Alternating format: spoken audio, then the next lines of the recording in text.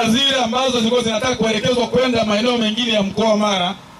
zitabaki hapa kwenye halmashauri ya Tarime DC ili zifanye miradi ya maendeleo kama ambavyo walipanga vipaumbele wenye vitu wa vijiji, watendaji wa kata, halmashauri kwa usimamizi wa moja kwa moja kutoka katibu mkuu ofisi ya TAMISEMI Injinia Nyamwanga.